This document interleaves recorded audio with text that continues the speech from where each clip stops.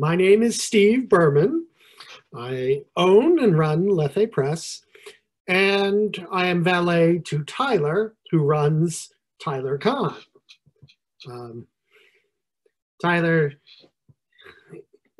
knows that in a few minutes he has to inspect some tuna, so he'll be back.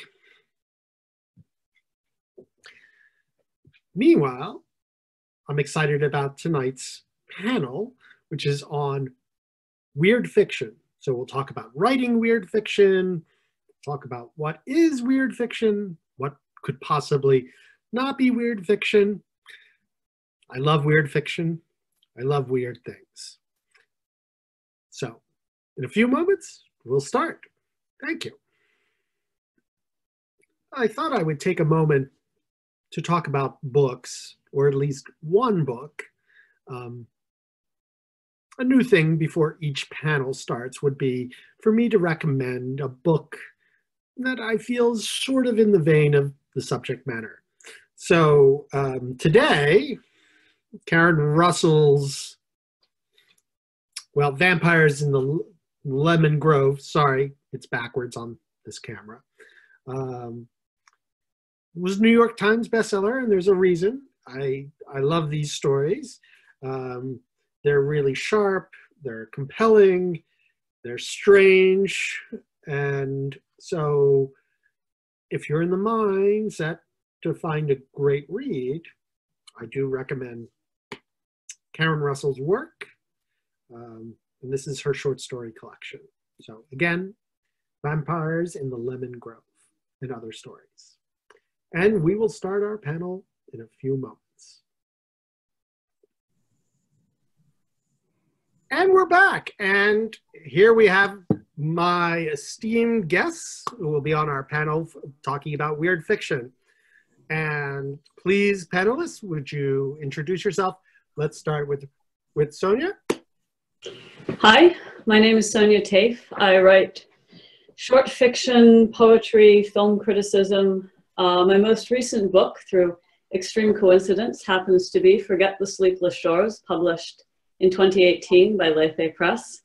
It is a very good cross section of the sort of things I write in that you get a lot of the sea, a lot of queerness, a lot of Jewishness, a lot of deep time, ghosts, history, ways in which people tell themselves stories about the world which may or may not have anything to do with construing the shape of the actual world, but hey, we've got to do something.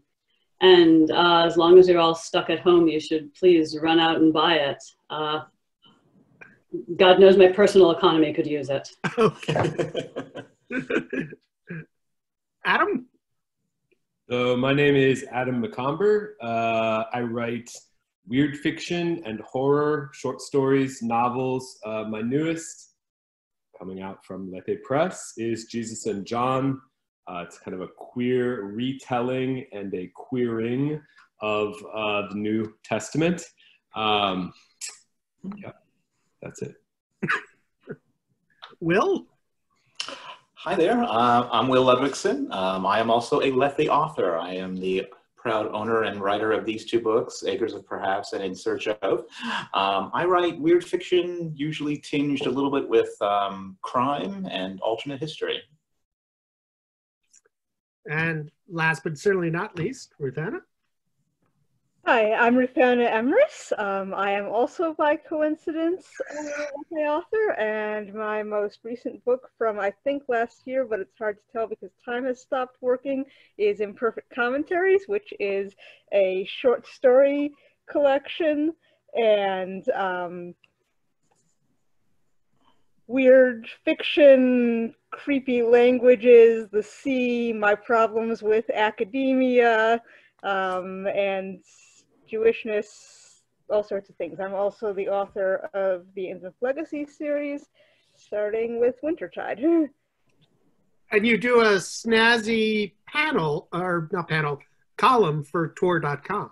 Yes, I also uh, co-write the Lovecraft reread column on Tor.com, and I should have remembered that since I literally just handed in our latest column. I work with uh, Anna M.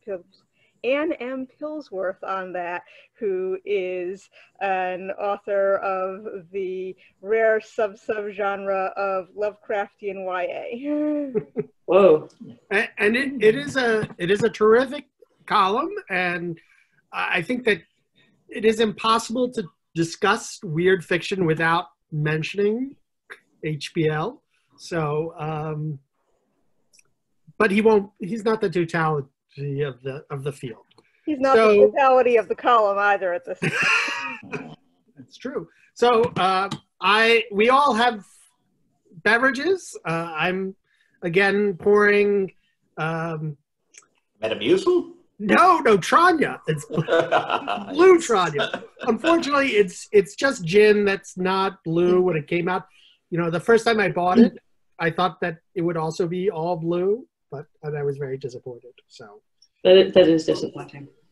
and, and because I don't know how to drink well, uh, I have no idea if I pour too much. Like my last, I think was either it was either my interview with Adam or another panel. I I poured the entire glass full of gin, forgetting to put the soda.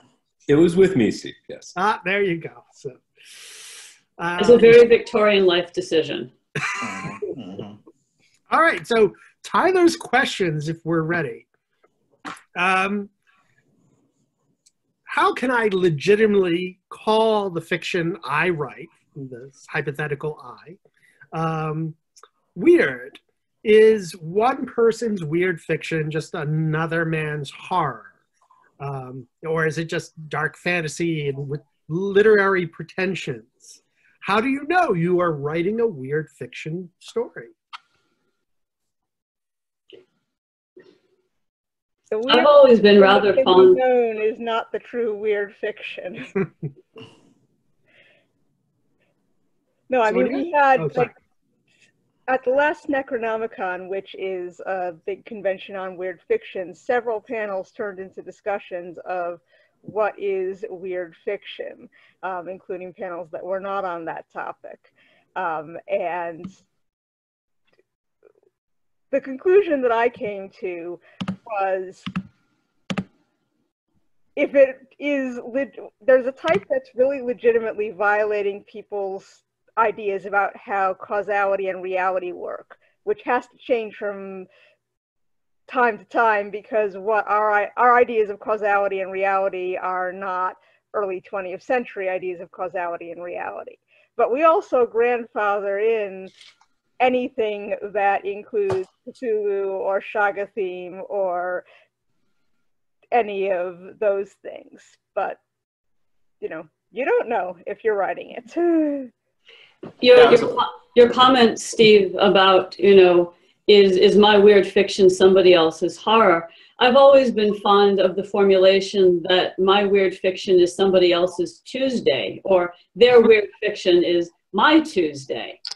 And, and there, that's one of the, that's one of the features rather than bugs I've found of the contemporary explosion of what we have consensus defined as weird fiction, which is that you have so many different ways of looking at the uncertainties of the universe that are this kind of like radial, you know, Cambrian explosion out from.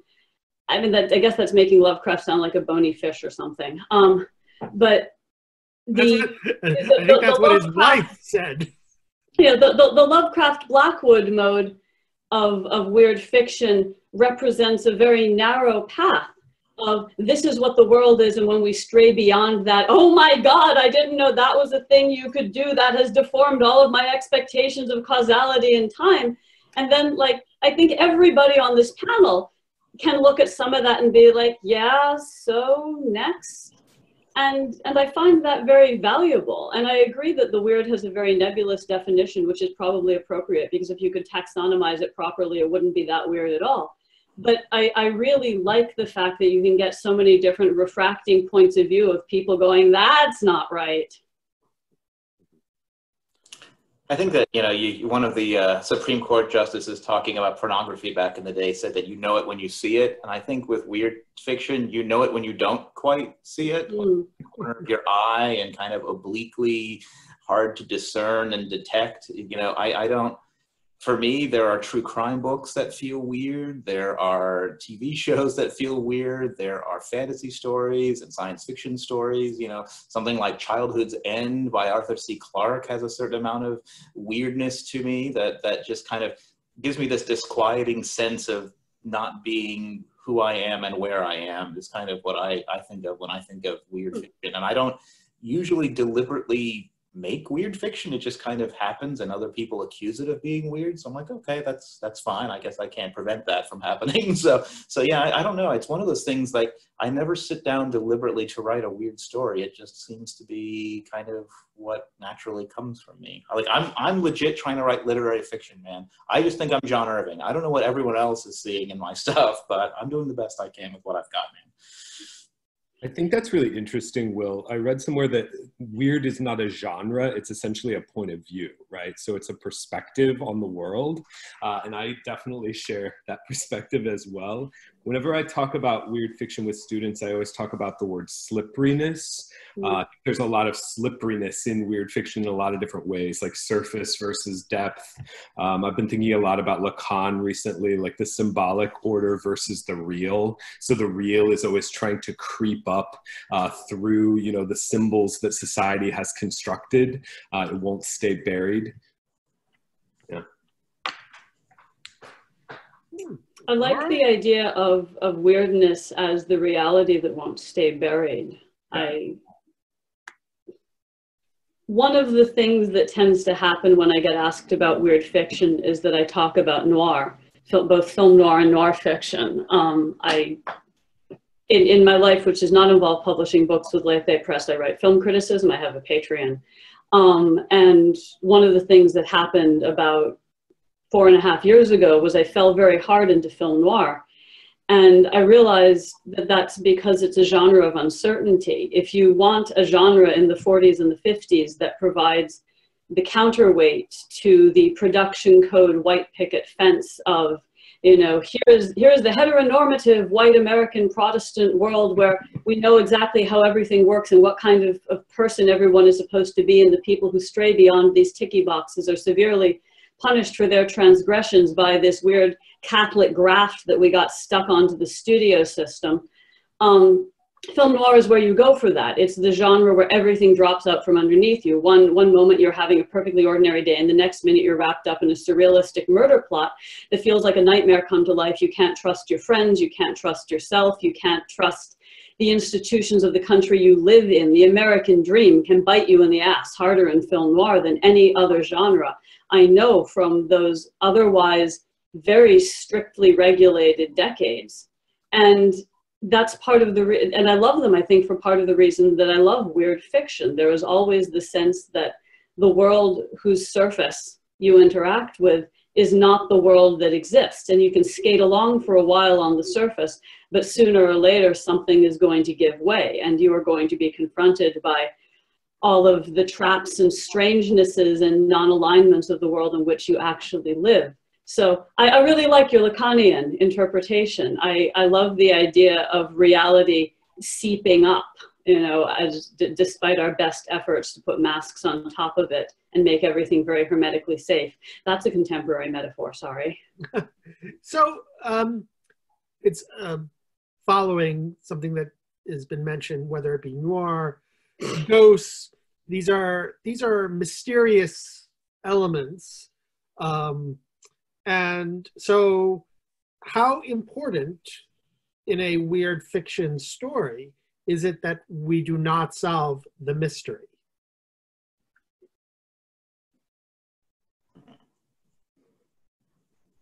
Because does it by then, you know, I'm not saying that the ghosts are pulled off and it's old man Smithers, you know, and, and but but that more quantifying um, the mystery robs some of the weirdness of from the story. A lot. I mean, I, I no. Go ahead. Go ahead. A lot of classic weird fiction is about solving the mystery, and that solving the mystery does not resolve to a neatly comfortable universe the way it does in a mystery. You know, there's a an anthology that is Sherlock Holmes Lovecraft crossovers, and almost none of them work. And then there's an award winning Neil Gaiman story. And the reason it's very difficult to make them work is because it's all about restoring a rational universe through revelation. And Lovecraft is all about breaking through the facade of a rational universe through revelation. As long as you don't solve the mystery, which he thinks is eminently desirable not to solve the mysteries and says so several times, you can live with those illusions. But and you can do weird fiction, I think, where you don't solve the mystery as long as it's clear that whatever the solution is is not a comfortable one. Mm-hmm. Will, you were. I think that a, sol- a, solution in most weird stories, or in some of my stories for that matter, is kind of a pause where you've given up briefly your continued digging for answers where you're like well i'm better stop here this is what this will be a good enough solution for right now because i don't i can't face any other deeper layers of the onion so i think that that's kind of i, I when i think of whether there's a solution or a, or, a, or a revelation at the core of a, of a weird story. I don't know that there, I, th- I think there's only like a, a, a temporary one, a, a, you know, a kind of a, you know, one that's, that's kind of provisional, you know, without being, you know, imposed. I mean, if, if, you, if there is a solution, it's your best guess and it's probably wrong. And the only reason you've decided to call it a solution is because it is remotely comforting.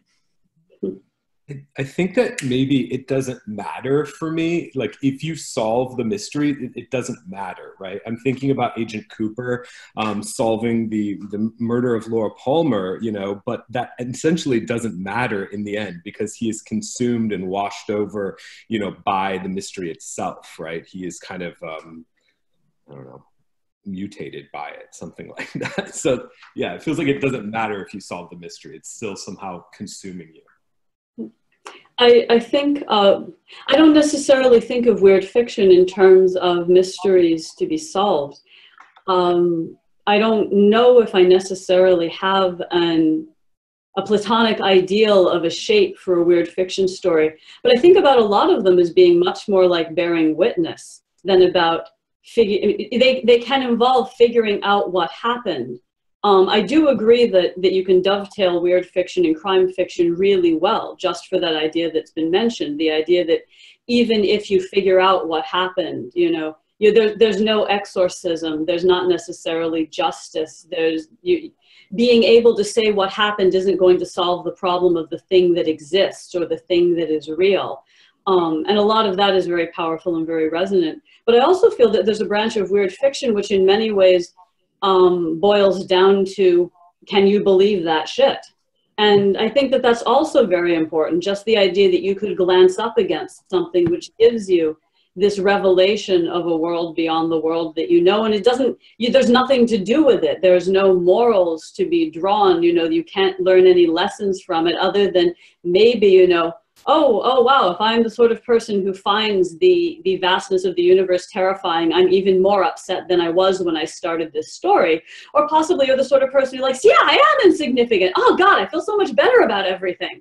But but but a lot of it is simply just like how close you how close you your comet can come to the sun of the of the strange world that exists and be able to get away unscathed or not at all unscathed. And what you're then doing is telling the story and it just virally perpetuates itself. And everybody who hears it is just like, oh, geez, that, that, that is weird. One thing that always throws me out of a Lovecraftian story at the end when a, when a character learns some great truth about the universe and goes mad is I'm, I cannot imagine a truth that would make me go mad. Like if you told me you're not the center of the universe, I'm like, no shit. human beings are insignificant insects. Yeah, no kidding, man. We know this. You know, can't imagine. You know, we're the only creatures in the universe. I mean, I don't. I don't. I literally cannot conceive of what sort of revelation would make me go, holy! I'm like, I would just completely ruin me. I, I almost everything would be like, huh? Who knew? I mean, I, it really, I cannot imagine. I mean, I, I could go out on a limb and I, I, could go out go out on a limb and say that this may suggest that you are somewhat um, emotionally healthier than H.P. Lovecraft. Maybe. Well, whoa, whoa, whoa. Let's not make any assumptions. But uh, yeah, admittedly, I am not living with my my matronly aunts in the background. Like, You know, I think that would be a good blurb for your next book. You know, What? Sonya's Marginally more- healthier than Lovecraft. I, I will put my name to that. marginally emotionally healthier than H.P. Lovecraft. I, I was thinking that you were going to suggest that he was a psychopath and thus doesn't have any sense of, you know. Well, No, be- I mean, I'm, I'm one of the people for whom Lovecraft's cosmicism, which I, while I find it really compelling, it doesn't function as horror. I happen to, I, I Mhm. happen to be one of the people who finds an immense source of comfort in the idea that there is going to be a planet and a solar system and a universe for quite some time after I'm gone. Like, yes, Mhm. okay, entropy is real. As far as we know, the heat death of the universe is real. But I would be extraordinarily upset to find out when this is all over that I was actually solipsistic enough that everything just snuffs out. I mean, that, that's horrifying. I'm not cool with that. I, I, I spend a lot of time around the when I can. At the moment, I'm spending a lot of time around my books. Um, you know, around things that give me that sense of deep time. The ocean is very important to me for that reason. Obviously, Ruthanna, you cannot relate to this at all. I don't, I don't even know what I'm saying. But it's one of the things that I really like seeing in weird fiction is bringing in characters who react in all of these different ways to these things. To the to me, the question of why do some people find these things mind breaking, heartbreaking, and other people find them comforting. I want to see those people in a room reacting to the great cosmic thing that just came out of the ocean, and I want to see them talking about it and maybe to it and see what happens after that. Hmm.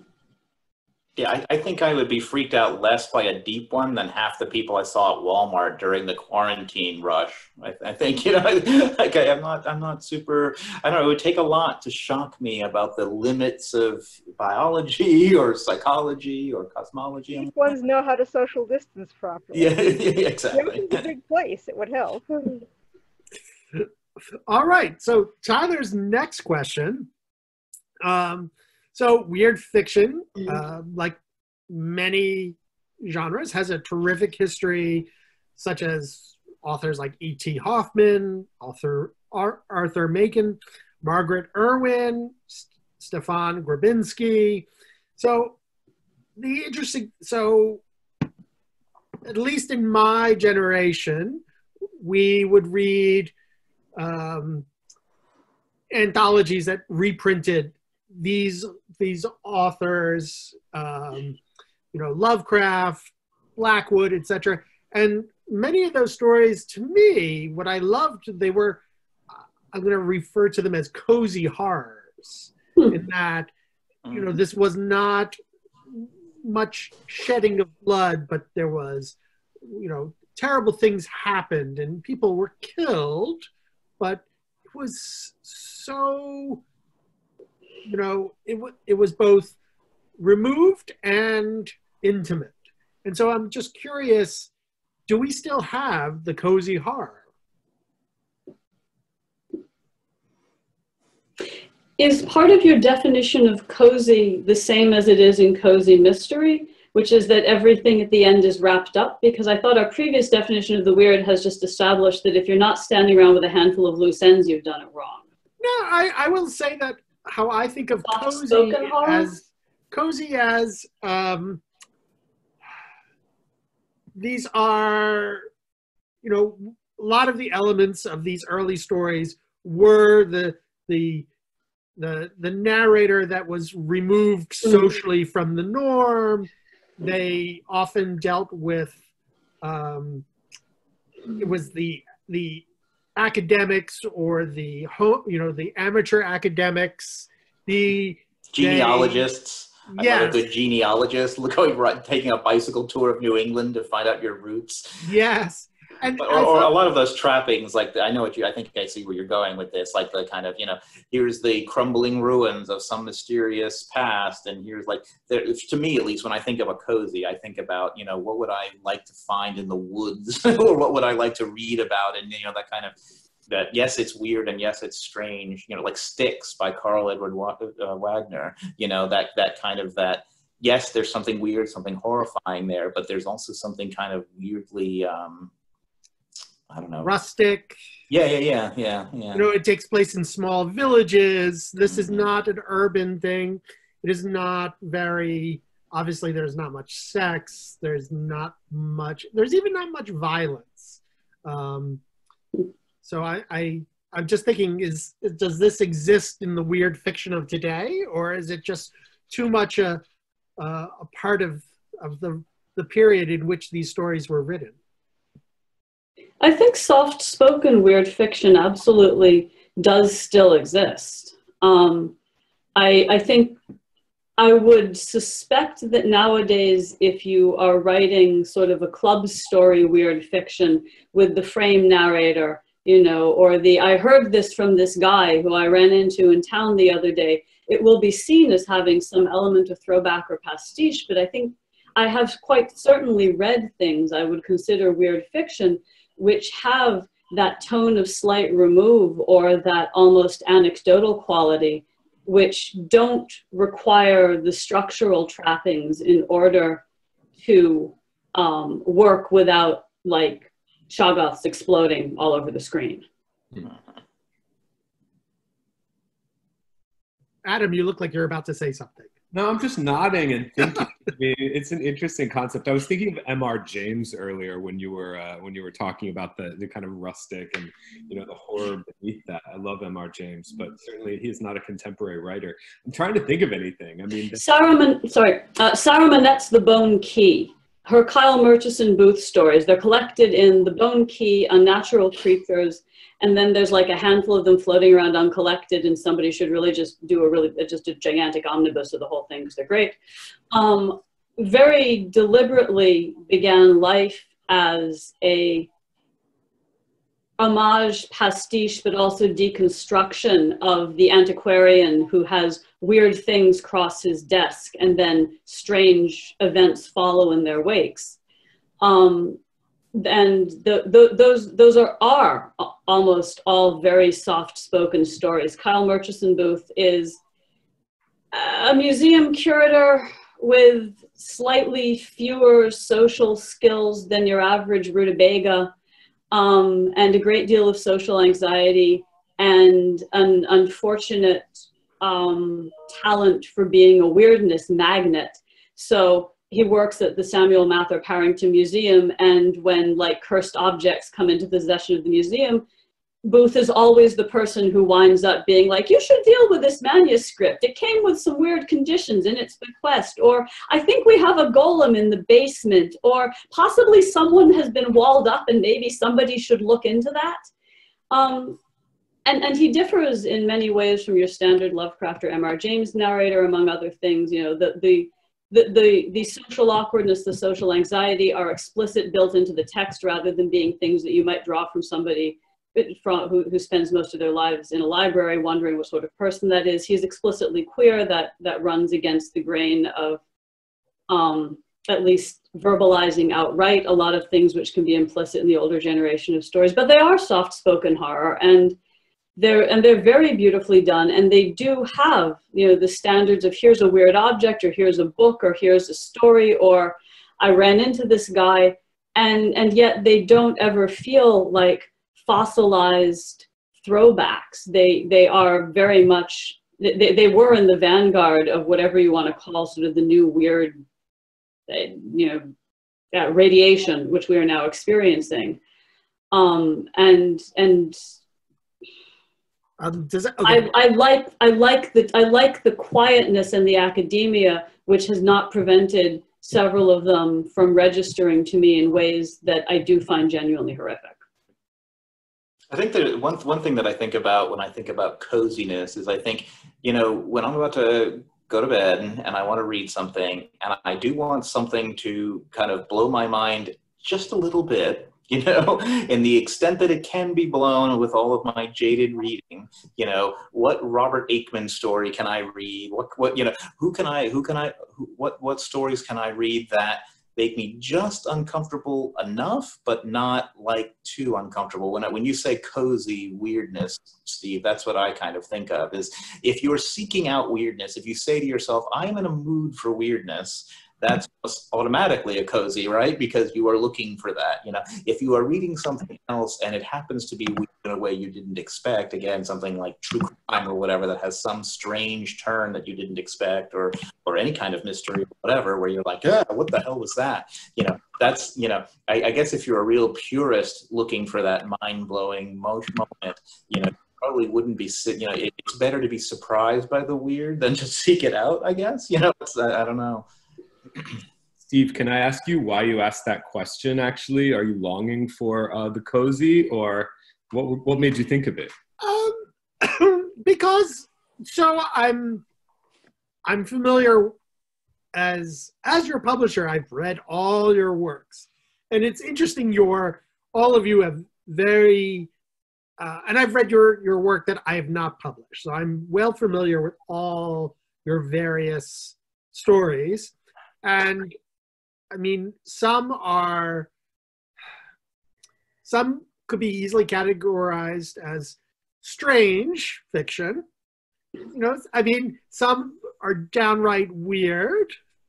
And then, I mean, uh, some are much more fantastical than others. And so I'm just curious that when um, when you write or when you're writing things, do you have also um, sort of a a sense of how you know what kind of atmosphere I'm my imagination is is is marinating in that I that I will then put onto the page, um, and I, I find that fascinating. And and I I will say that I I view also weird fiction often from a nostalgic point of view.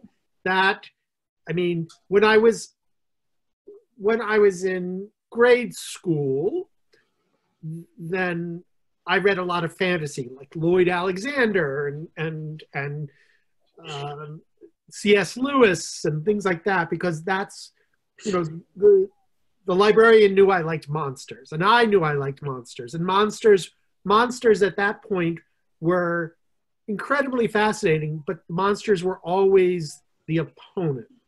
They were that kind of it was, you know, you. I wanted to, you know, immerse myself into monsters like the world, but I didn't really think like you know monsters are my friends, things like that, or I didn't view myself as the monster. Then once I started reading more sophisticated short stories and learning about that sometimes this who you know what a monster is is vastly different than you know stuff that i would find in the you know dungeons and dragons monster manual that there are you know uh, things are unnatural.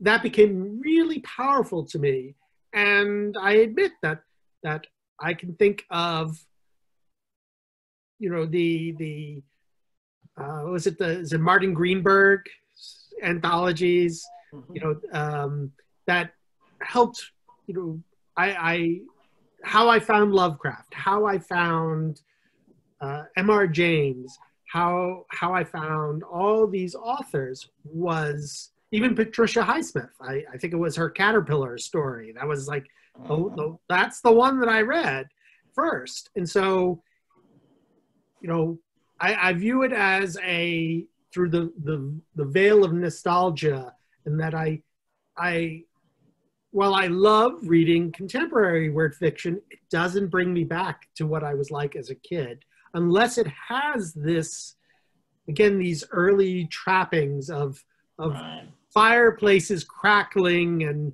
and people going, you know, uh, you know, uh, well, I did you read the latest, you know, Coptic manuscript, things like that. So.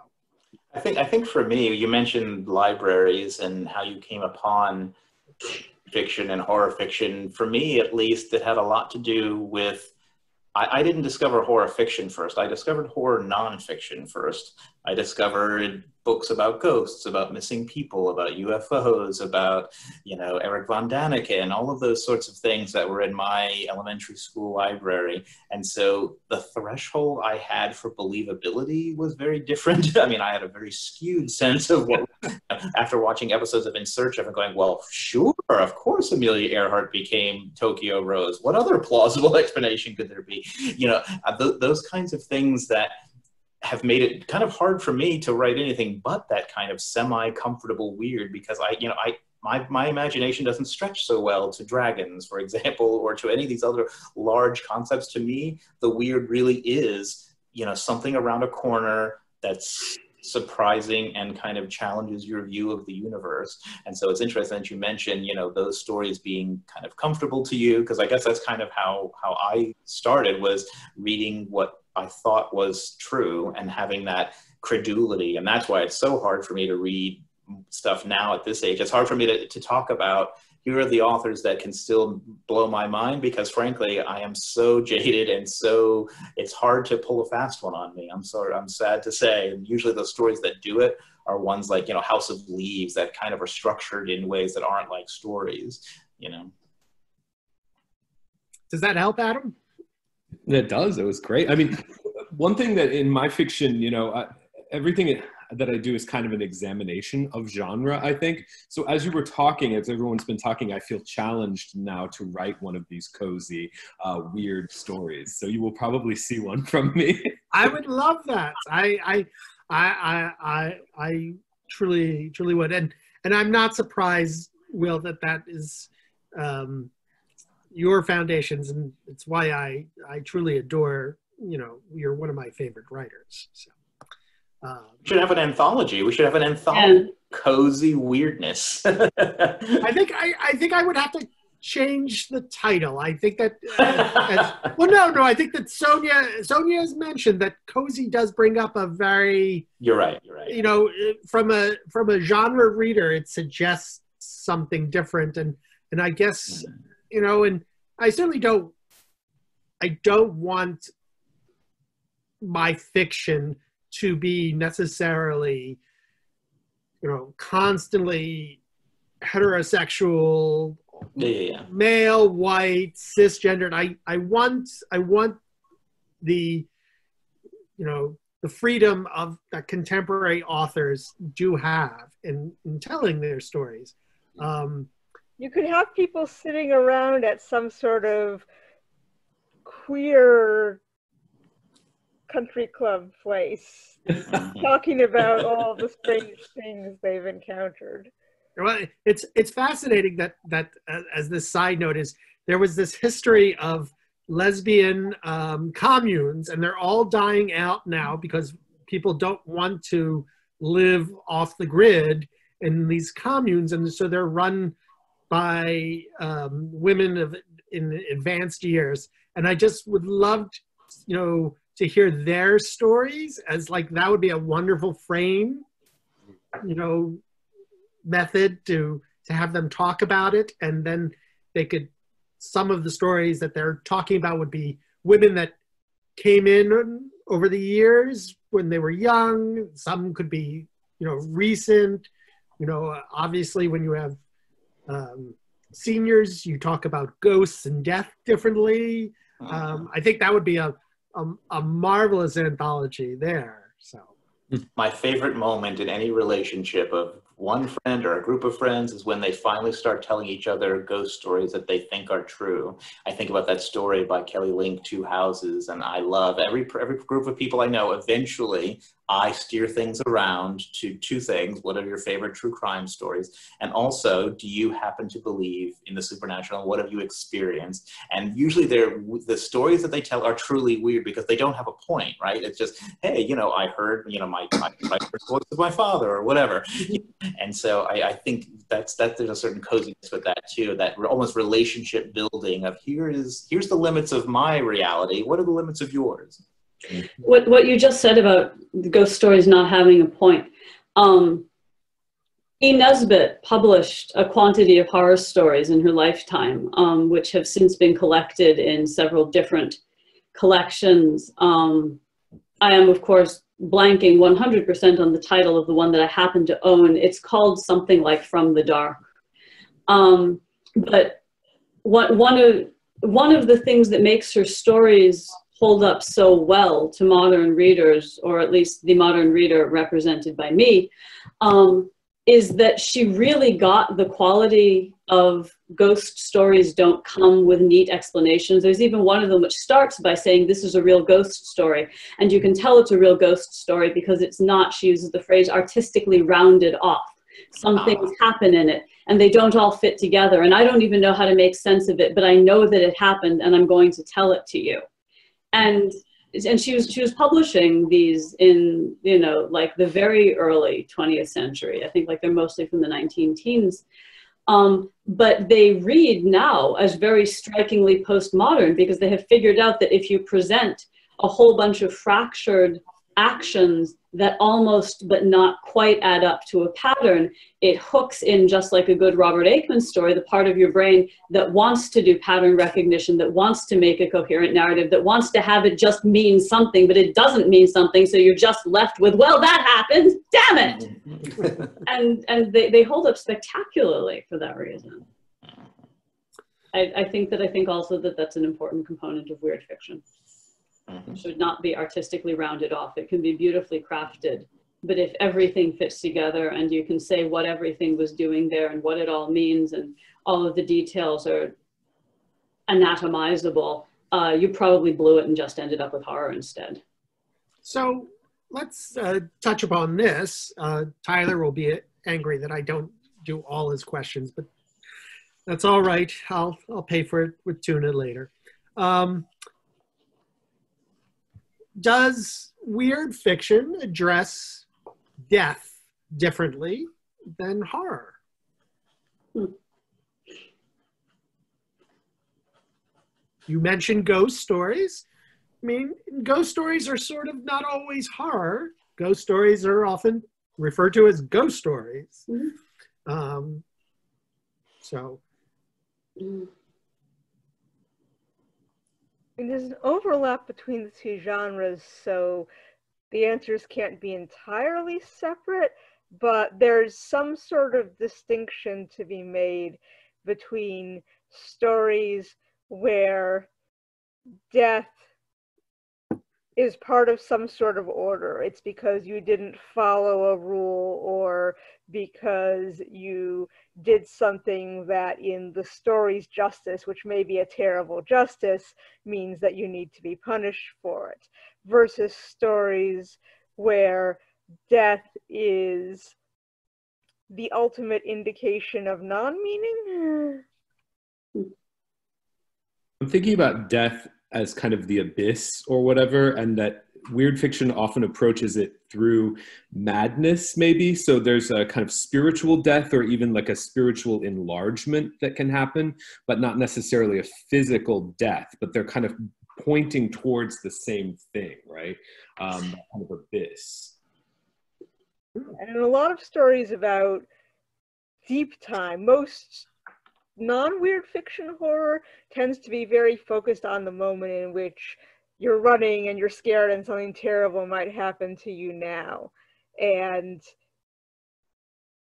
stories about deep time in weird fiction part of the horror there may be that there comes a time when your life and your death and your species life and death may not even be a footnote and that forgetting is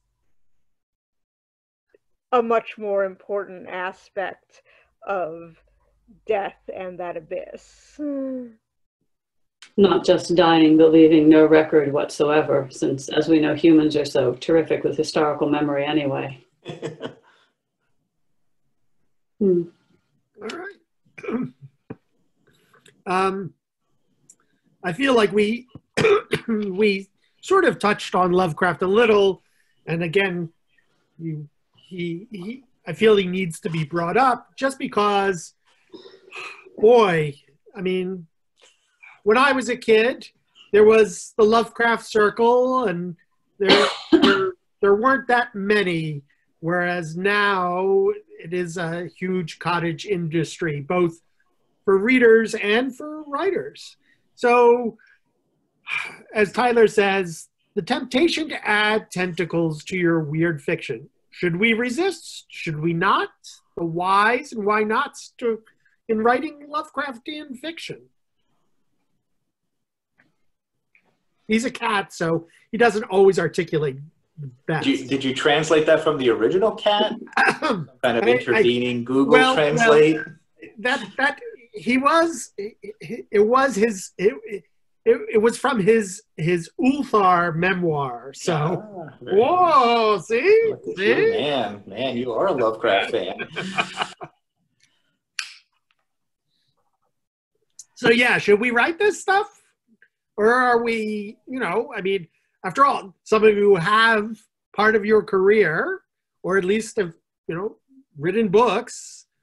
Um, in fact, I'm trying to think. Adam, are you the only? You may be the only person on the panel that really hasn't indulged in Lovecraftian stuff. Right.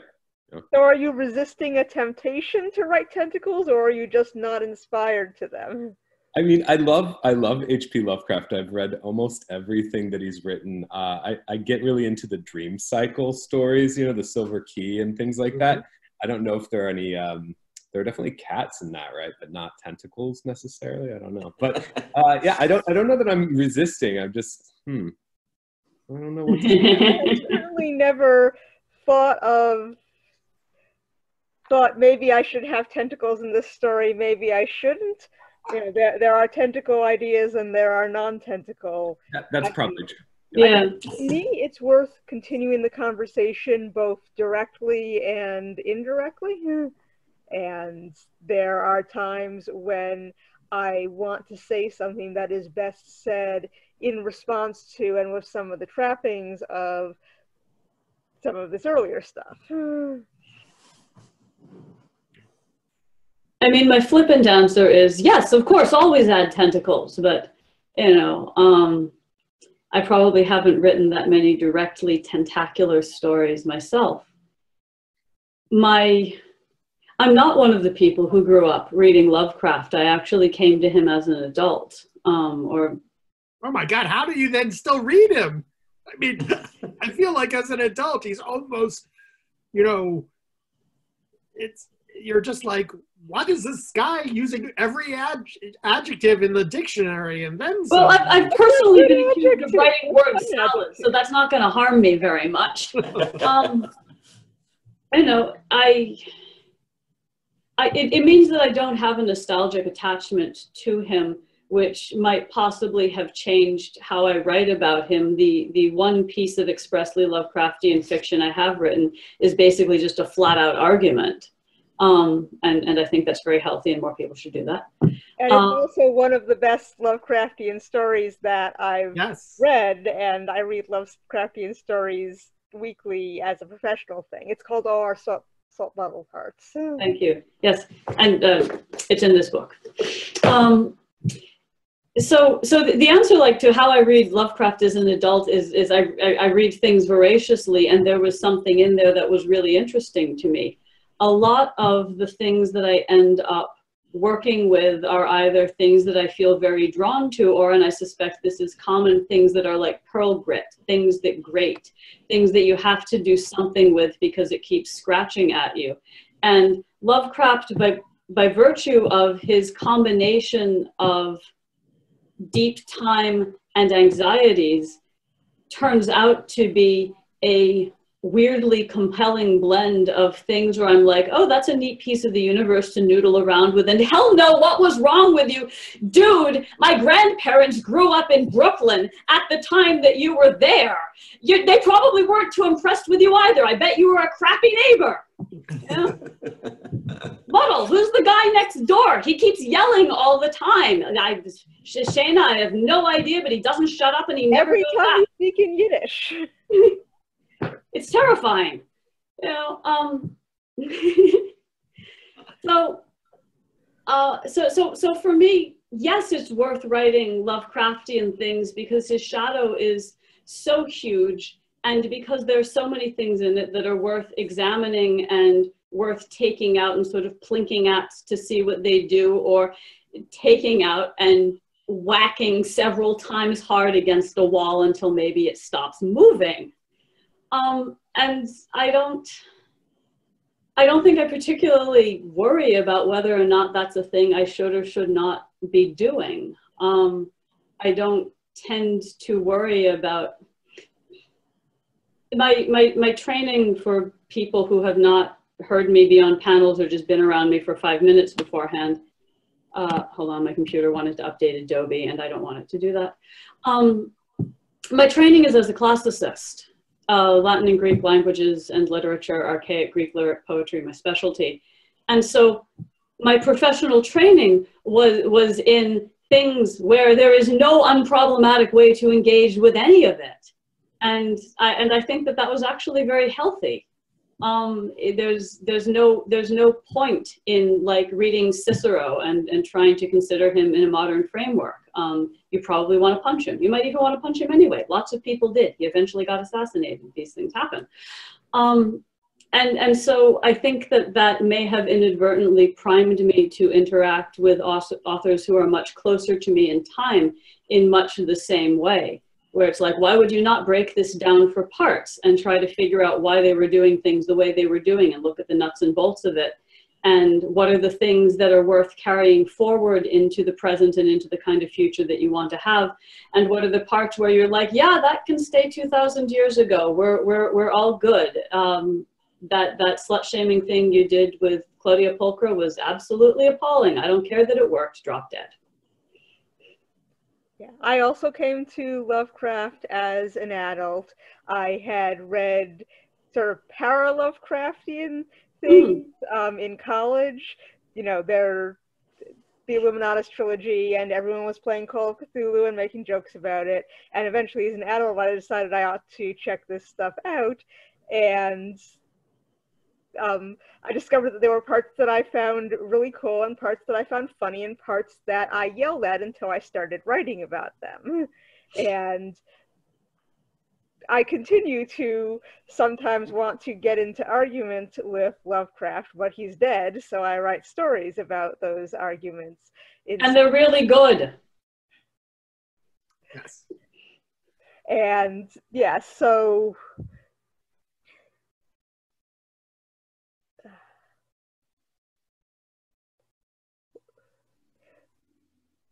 there are most of what I write is because I'm arguing with something. And there are authors who I hate who I have no desire to get into an argument about. Their mm. stuff doesn't form a pearl around it, it just makes me put down the book. And I think with Lovecraft, it's the combination of the things that are really well done. He, he was coming up with world building ideas that were not like anything else and that still aren't like much else except for things that are trying specifically to be like him and often not succeeding. And then there are the things that are folk art ish.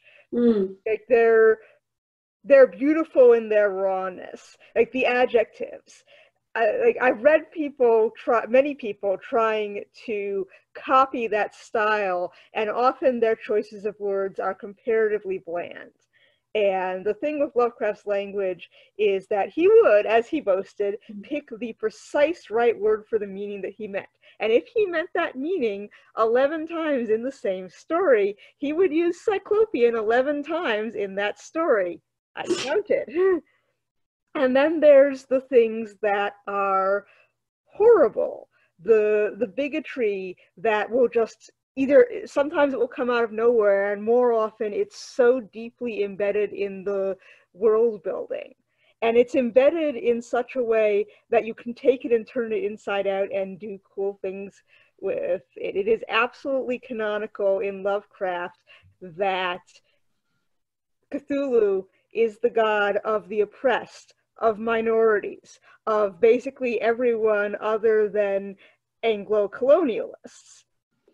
And for him, that's scary. And for me, that's, well, what sort of religion do you have for that is never the religion of the oppressor. Hmm. And that provides comfort in those circumstances. And that still says clearly because no one is getting from Cthulhu the ability to overthrow Lovecraft's family.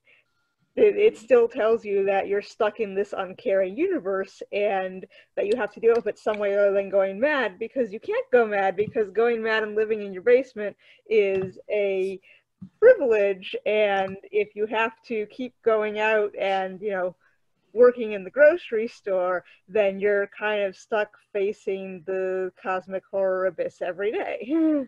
Especially if it's an eldritch grocery store.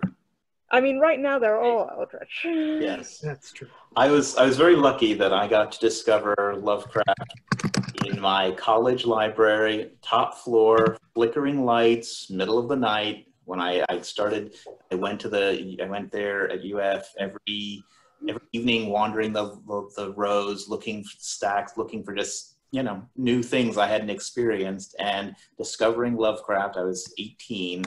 And what was so weird about that, I was pretty sheltered as a high schooler, actually. And so reading it struck me as being very decadent and treacly. It was kind of like almost an hmm. Oscar Wildean kind of experience. Like, who is this person who's just so, you know, outwardly flouting all of the values that everyone holds, you know, to their hearts or whatever. And so it was a very, it was a, it was kind of this opening of a Pandora's box, I guess, for me. So, so when I think about weird fiction, I think about Lovecraft.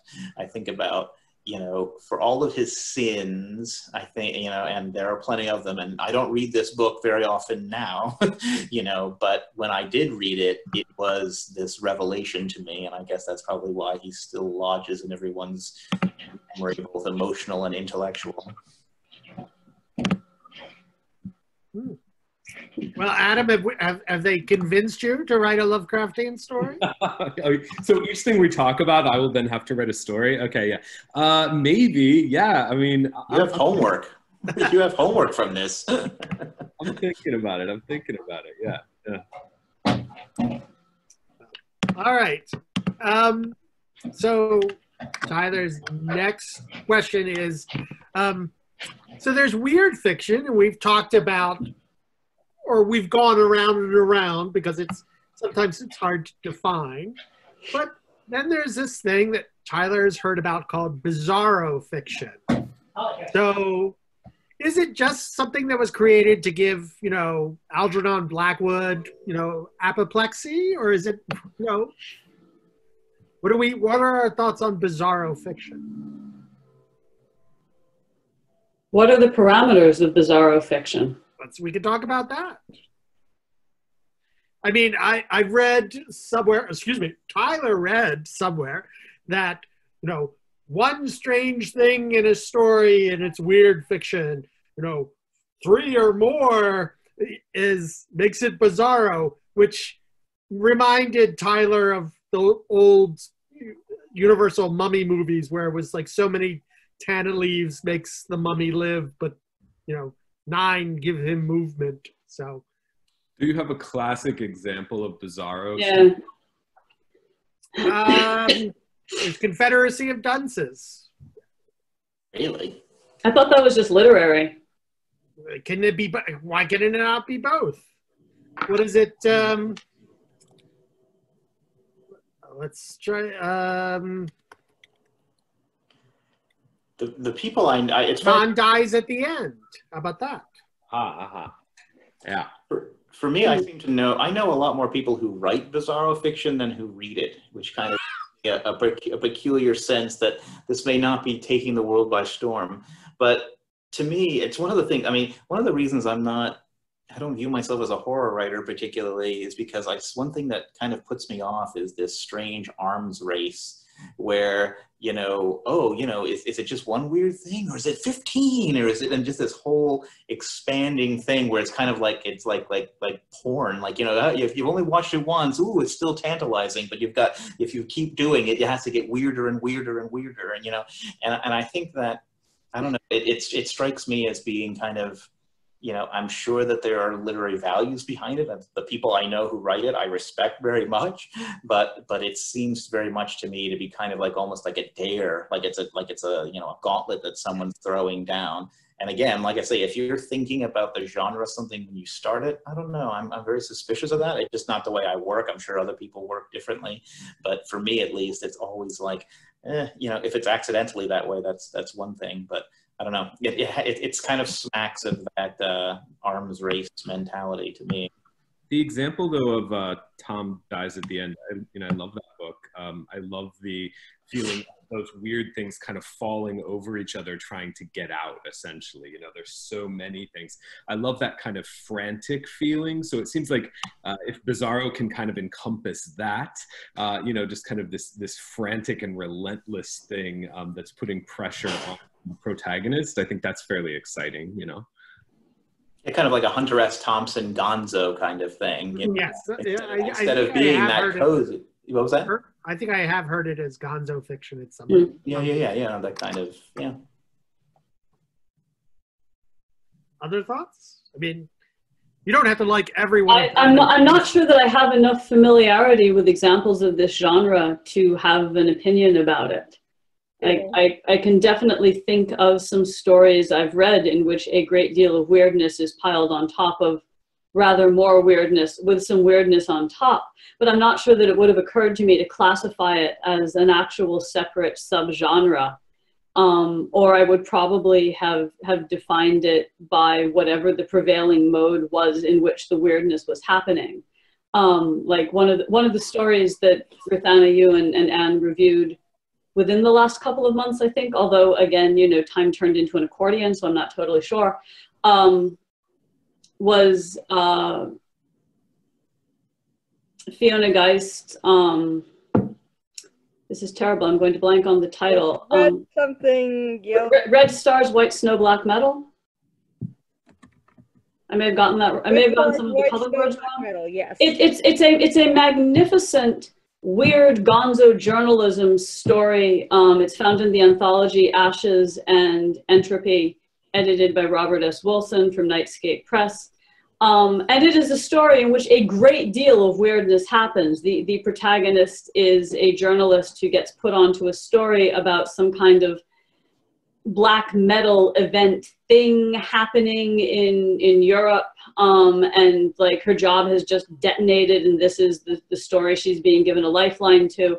So she goes and starts following it and finds herself progressing you know increasingly into the former Soviet bloc with you know fascists and political lesbians and Russian futurist opera and um, incomprehensible things from outside reality, which also happen to look like design elements from the original futurist production of the opera Victory Over the Sun. Um, and the whole thing just just concatenates. Like there are Lovecraftian qualities, there are you know um, Carcosan aspects. Um, I mean, the thing with the Russian futurists is that it's based around a quite real opera, which personally I happen to adore. Uh, I believe the black metal groups are fictitious, but I'm actually not going to swear to that. And the entire thing does turn into this giant katamari of, you know, what the fuck. Um, but it would probably not have occurred to me to categorize it as bizarro fiction rather than like weird fiction about a gonzo journalist with Russian futurists.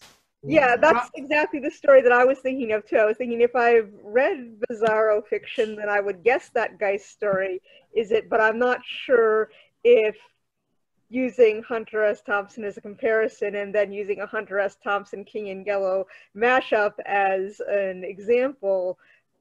Like I don't know if it needs a subgenre per Yeah. I, I, I, I'm trying to remember if Nick Mamatas would consider some of his stuff bizarro or whether he would be angry at if I made that. Was he one of the editors of the anthology, The Urban Bizarre? When that mm-hmm. happened in like 2004, 2005, I associate him with it. Mm. Um, all right. Well,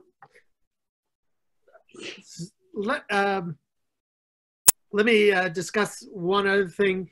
Um, probably most people are, uh, think of Lethe Press as uh, queer speculative fiction. Um, three out of four of my panelists, you know, you can guess which one is not. No, um, is our our our LGBTQ plus, etc. Um, the other is an ally who's written queer speculative fiction. Um, is do you think that um, the weird is is an ideal home for queer spec fic? That is there some benefit to to being queer um, or not so much benefit. I will say yes there's always lots of benefits you know. If you're if if you date someone you you could double your outfits you know things like that. No. Um, but is there an ease to writing queer weird fiction that maybe science fiction or fantasy does not have to it? Um, just your thoughts so I've always felt like the weird was particularly connected again to my point of view. You know, I grew up in a small um, conservative town in Ohio, and I just, you know, well, I felt weird, uh, but I also felt that distinction between surface and depth. Uh, you know, and I'm thinking about someone like Sherwood Anderson, who is not really a, a weird writer, but he kind of is in some ways, you know. So um, I think that, that that, that skewed my perception perception or maybe um, opened my eyes in certain ways, just that experience of growing up. So it feels like that is where I belong. That is where I feel comfortable. I've written queer weird fiction and queer science fiction and queer fantasy.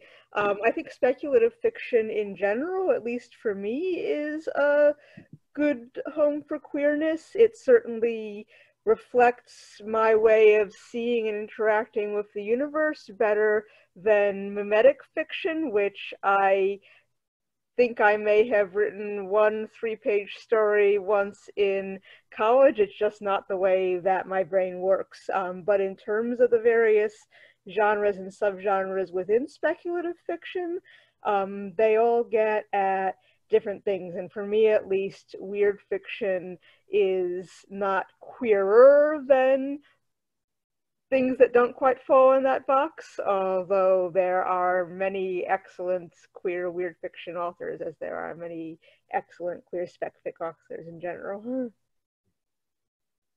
I, I tend to think of it also as being more like the default filter that is going to affect whatever I write. Um, I, I, have not, I think, ever written mimetic fiction. Um, I do have a thing that I'm working on, which appears to contain no fantastic, supernatural, mythological, weird elements whatsoever, uh, but it's lesbian pulp, so maybe that answers the question. Um, I don't I do find weird fiction a very congenial genre to be in. It's one that I wasn't particularly aware of um, as such for most of my writing life. Um, it, I probably started to become really aware of it when people started identifying me as a writer of it. But it does seem to triangulate and concentrate a lot of the a lot of concerns and a lot of the things in which I'm interested in.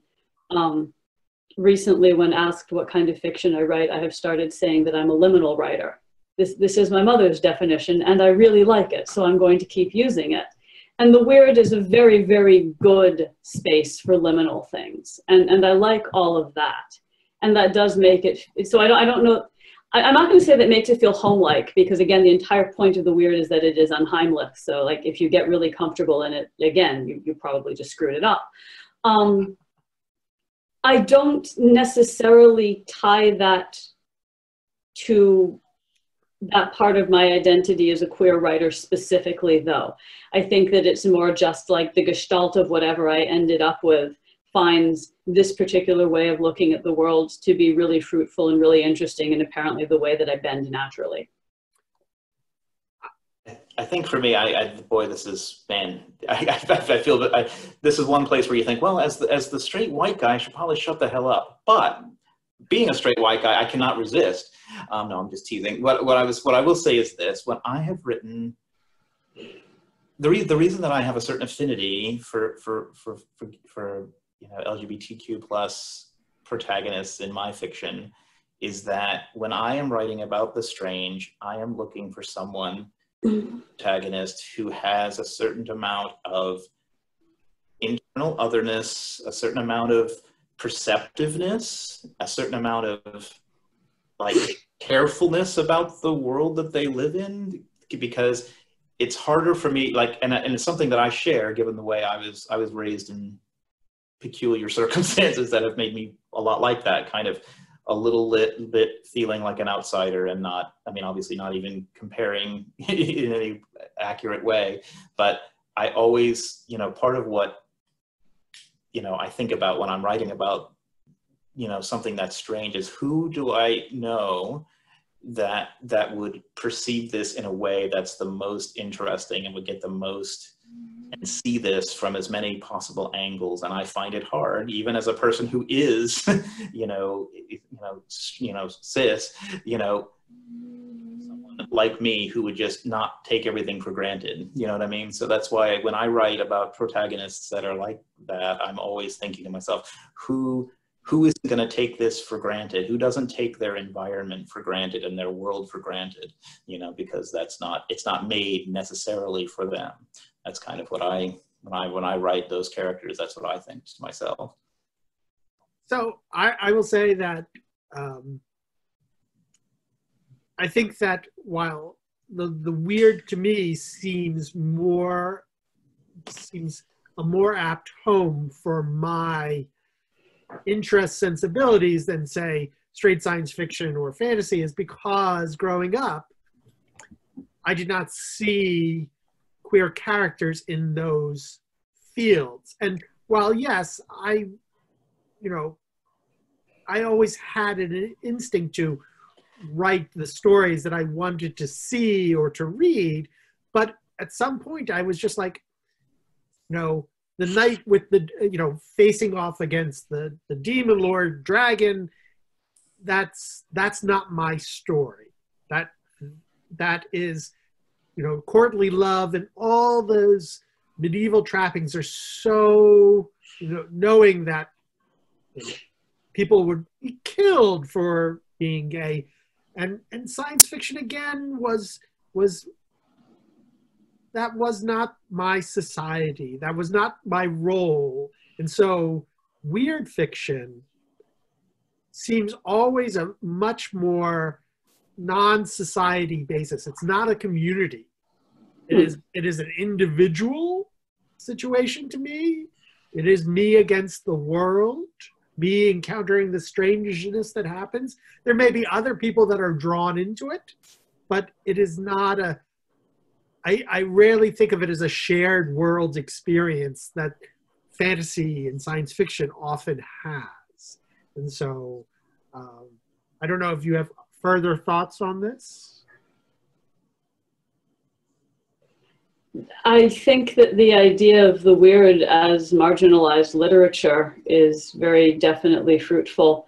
Ruthanna talking about Cthulhu as the god of the oppressed, you know, fits in with that. But also, there is an entire weird fiction community, or we wouldn't all be hanging out in, in our house on, on Zoom having conversations about this, uh, at least semi-confident in, in the knowledge of an audience of people who will actually tune in and, and see a lot of, of weird writing shut-ins talking to one another.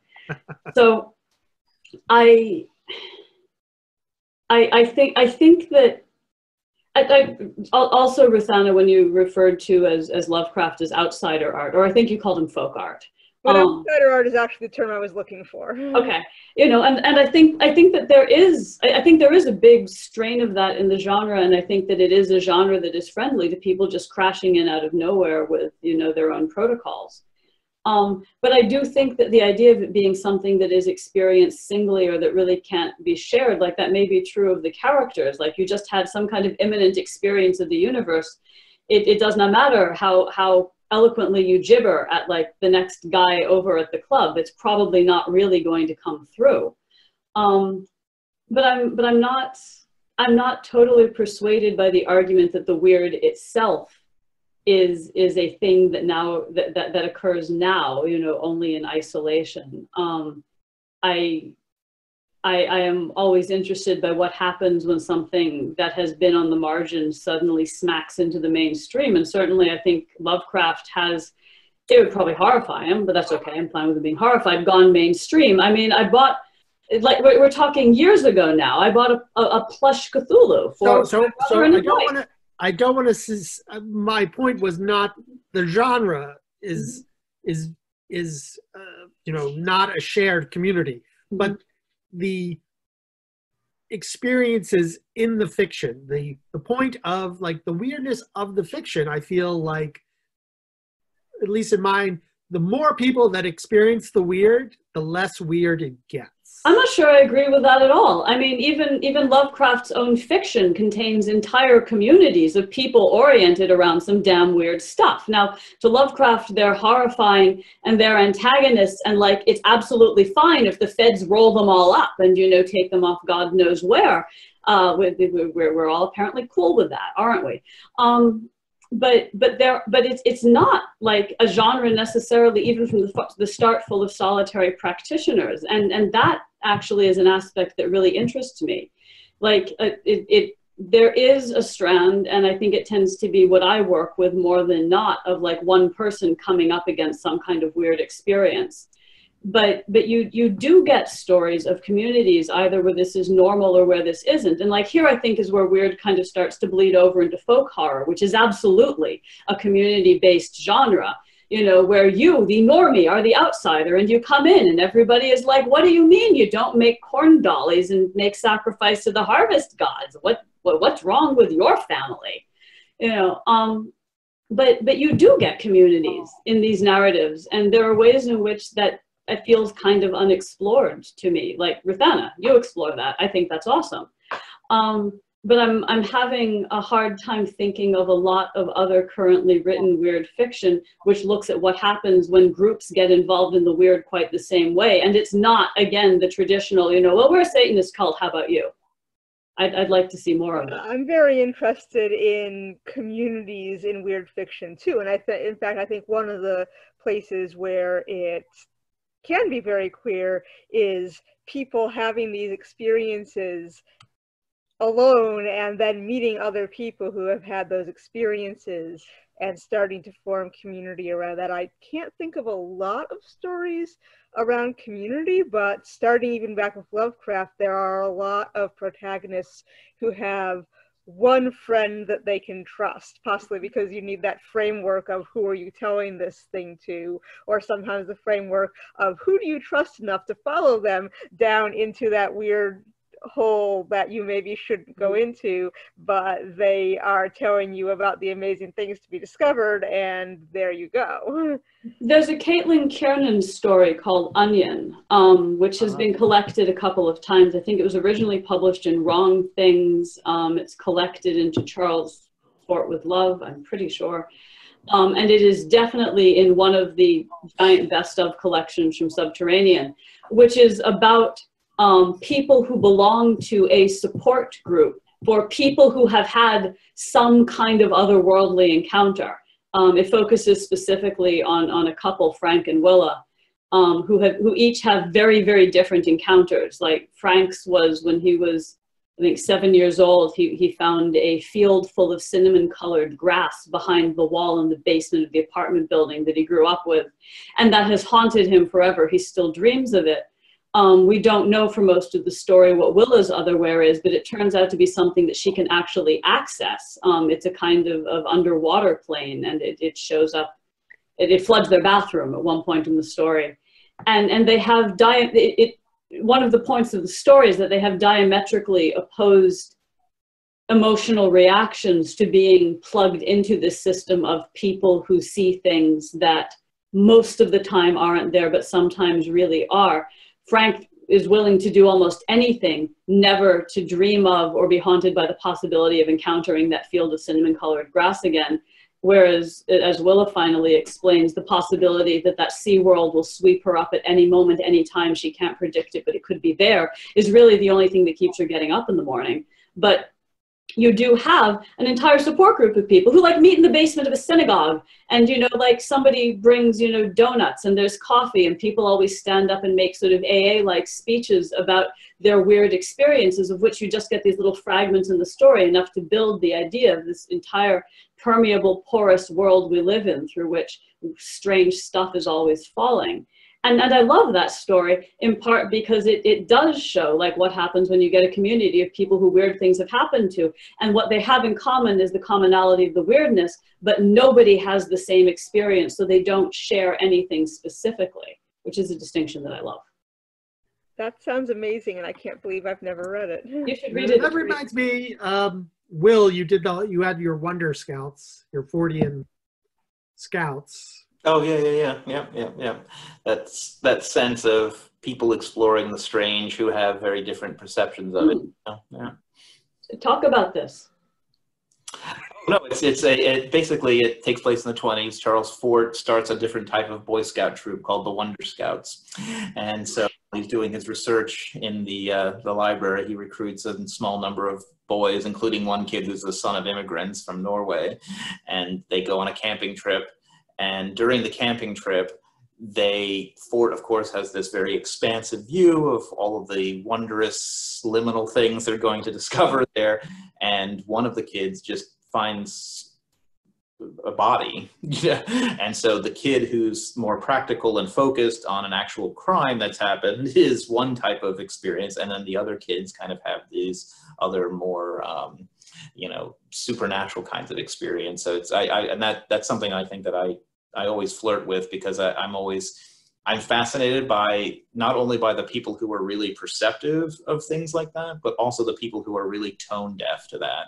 You know, who see the wondrous pass them by and are like, "Whoa, whoa, where was that?" You know, those people amaze me too. Like the people who kind of are in the between, that's fine. But I, I'm I'm almost as fascinated by the people who have either suppressed or deliberately blinded themselves from the strange. But uh, yeah, so I tend to write about those kinds of things. And I, I think the other thing too with Fort was that, you know, and, and with him as a human being was that he was obsessed with finding actual quantifiable evidence and he never ever found it. He never had that experience himself. He only had it second third fourth fifth hand. And that's kind of the tragedy of the story is that he doesn't experience any of it. So. Hmm. well um, now we've come to the part of like many panels. Um, i'd like it i'd like you to make a a recommendation of some weird fiction that you particularly like. Just um, one title. Uh, doesn't have to be a book. Um, and certainly it does not have to be a Lethe Press title, etc. Oh, wow. I know it's hard to believe that people read outside their the, the publisher. there. so, so um, and it does not have to ha- involve cats either. So that is. Oh, okay. So that are you just gonna walk out of the room now? No. Yeah, you'll have to come back to me last because both of mine were from that. I always do. all right, Adam, your thoughts? Darn it! I was trying to look up mine right now. Yes. All right, all right. I'll go back. I've got it. I've got it. I've got it. Uh, it is uh, Reza Negarestani's Cyclonopedia. Uh, I really like it. Uh, very kind of postmodern uh, approach to H.P. Uh, Lovecraft uh, you know, the feeling at least that H.P. Lovecraft expresses. Um, if you know um, the, the kind of book of philosophy called, uh, is it The Dust of This Planet? Do you know that? Um, I do not. Well, anyway, that's an awesome piece of like weird philosophy too, The Dust of This Planet. Um, right now I'm blanking on who wrote it and I can't look it up. So. Well, you, I'll tell you what. Walt Disney. We continue on, you, you could you could you repeat the title because it, it happened very fast. Yeah, yeah, yeah. So the first one was Reza, R E A R E A Negarestani, uh, and it's called uh, Cyclone, Cyclonopedia. Uh, and the other one is uh, The Dust of This Planet. And I'll look it up. All right. Sonya? Uh, okay, so in, in addition to the things that I've just been flinging wildly at people, um, there are two novels um, by an author named William Sloane. One is To Walk the Night from 1937. The other is The Edge of Running Water from 1939. They were collected under the title The Rim of Morning, which is how you can get them in a rather snazzy paperback from the New York Review of Books, um, like possibly with a, a foreword by Stephen King, although I might be making that up. Um, they are really, really interesting novels to me because if you read them now, what they look like are cutting edge fusions of noir fiction and cosmic horror. But as previously mentioned, the dates were 1937 and 1939. They were written before either of these genres was even properly codified. And what they tell you is how interrelated pulp fiction at that time was. They're beautifully written. Um, the, the, the former is the former is in some ways an entirely viable retelling of The Little Mermaid, only with much more deep time and deep space and alienness and non-humanness all round. Um, the second one is the sort of parapsychological fringe science horror weird fiction that until I read this novel, I hadn't thought was really a thing until like the 1970s. Um, they they they have gorgeous prose styles, very very crystalline. They have narrators who present themselves as transparent prose and both dudes are 100% wrong about this. They are not impartial. They are not disconnected. They are not merely relaying the story to you. One of them, in fact, really needs to get the hell out of his own way right now, maybe yesterday. Um, I love when you become ebullient about about books. So. They're they're they're just terrific. Um, I, I I believe Lila Garrott-Wejksnora recommended them to me, and there's still i still haven't really found anything like them because all of the other cosmic noir that i've read has been decades later and is pastiches or rediscoveries. And these were written at a point in time when these two genres could just be the same stream. They're they're really stunning and also quite pleasantly considering that i've been hammering on the fact that they were written in 1937 and 1939 they're surprisingly good about women. Um, the the significant female character in, in the first one, um, if the novel had been tilted just a little toward what we think of as the familiar tropes, would be, you know, like a femme fatale monster or something. And she is, in fact, the most sympathetic character in the entire thing. And that's just a pleasure to read in any decade. But, you know, especially nowadays when we need all the reminders that we can get that the past was not as cis heteronormative conservative as some people would like us to believe before we all wink out it's a nice thing to, to see. I recommend it. All right. Adam, did you find the author? Yeah, it's Eugene Thacker. So the title is In the Dust of This Planet, Ooh. Horror of Philosophy. It's awesome. That's a great title. Yeah.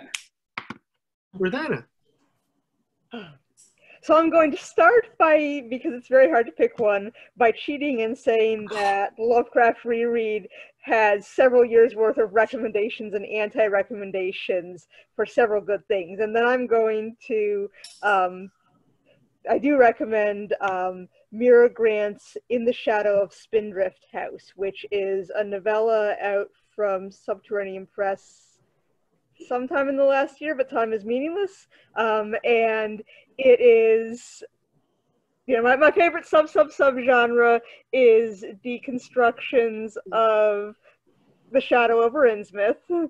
Um, and this is a deconstruction of the shadow over Innsmouth that asks what it would take to make the ending of that story unambiguously horrific. Mm.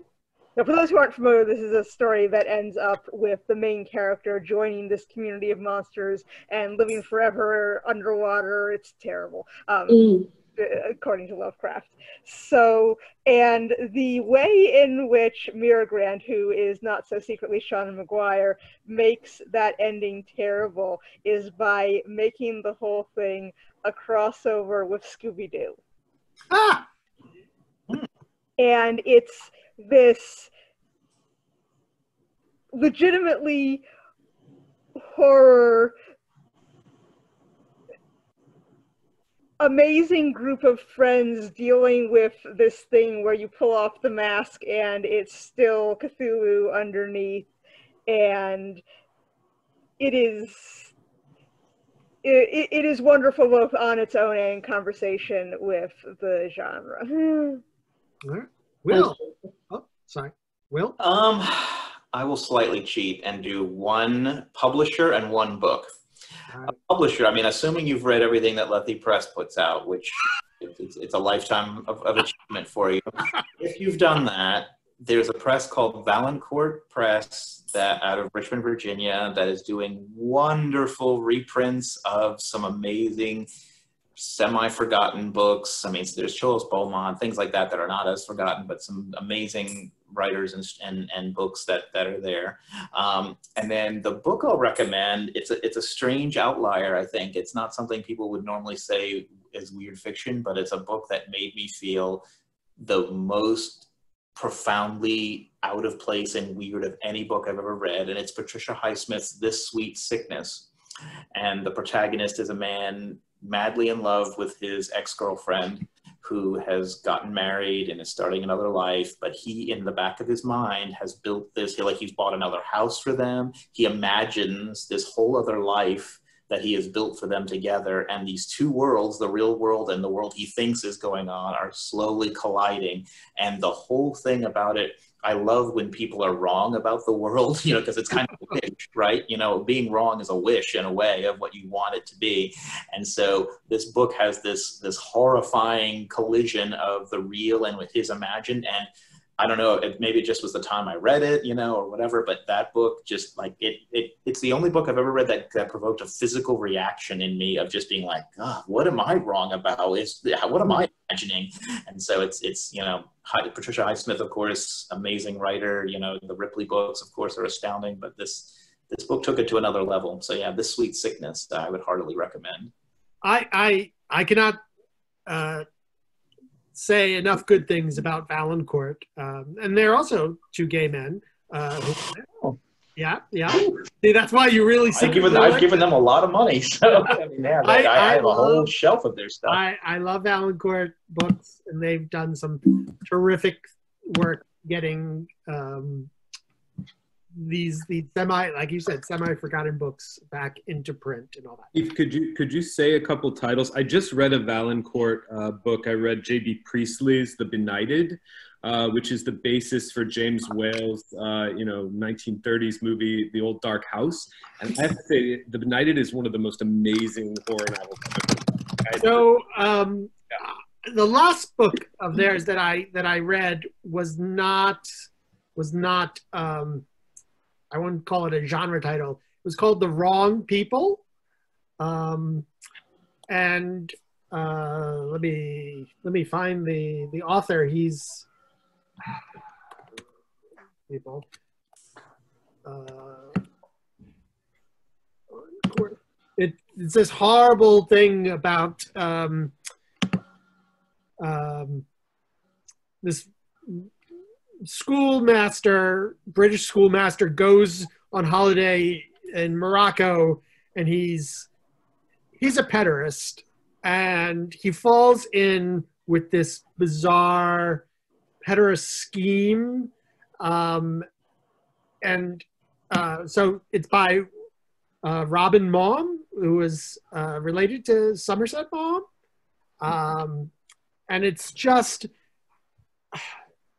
it's what I love about it is it's full of really ugly people and in this sort of forbidden world and the the main character knows that his desires you know are are viewed as terrible by society and it's it, it it's how he deals with you know his obsessions and and how he's in some ways powerless to resist his urges but it's not um you know it's certainly not what i would consider um pornographic by to certainly by today's standards but when it was published in 67 i mean it was like oh my god.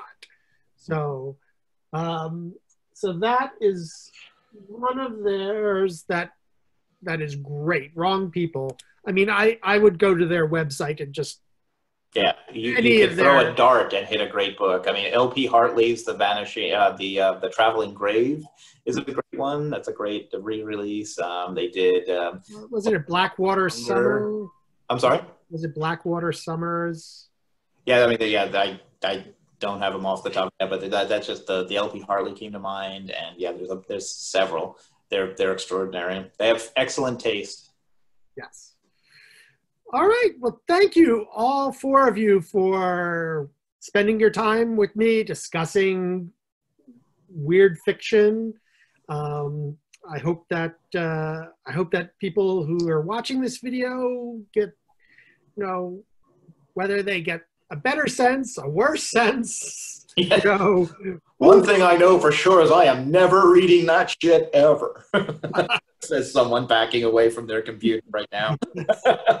Also, Steve, we now have it recorded with like, you know, multiple witnesses that you're going to edit that anthology, right? Yeah, yeah, yeah. Yes. yes. oh, oh, the my cozy horror. My Yeah, Cozy which Horror? needs a different name, but come on. In the arms of Cthulhu. Grandma Beatrice, you know, meets in goes to Innsmouth. The Hallmark Channel presents. Well, all right, everyone. I, I actually really want someone to write Hallmark Dagon now. All right. Well, we'll see. We'll see. So, uh, everyone, wave to the camera, and it Thank you so much, Steve. Thanks so much. It was my Thank pleasure. My this. pleasure. Take care, Uh, everyone. Bye right. too. bye. Goodbye.